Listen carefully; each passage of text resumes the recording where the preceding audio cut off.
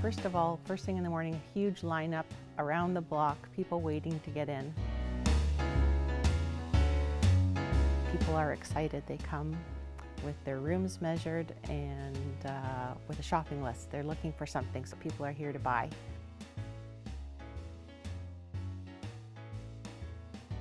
This all came about because we had decided that we wanted something new and vigorous to um, raise money for those in need. It has grown from, I think, five or seven juried artists to about 30 juried artists, and those change every year.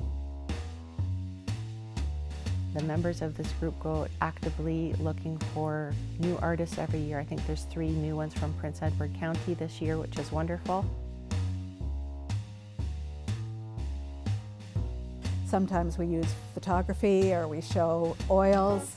Uh, there's jewelry making, some weavers, and sculpture. So there's a little something for everybody. We have filled five rooms of the church with all these artists and they come to show off their wares and to also show their personality because they're all very interesting people. And people come and meet you, speak with you, ask you questions about your work.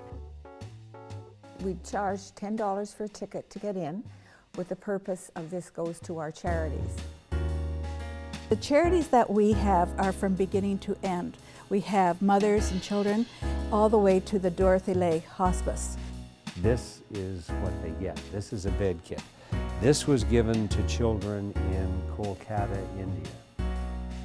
The art show has been helping us out for, for years and that we have been one of the, uh, there are so many local charities that are being assisted by, by the art show. Neighborhood event, everybody is happy. Um, children come, they see the work that is being done, and they know that it's going beyond these four walls. So it's a win-win situation.